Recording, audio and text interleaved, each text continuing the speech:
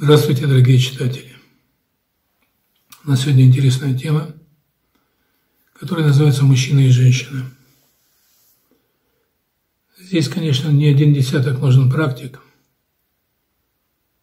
но мы сегодня остановимся на главном моменте, который позволяет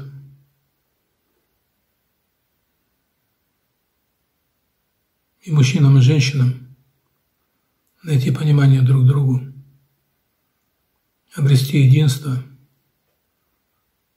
и стать счастливыми. Мужчина и женщина – это не просто два полюса. Разница потенциалов мужского и женского дает развитие.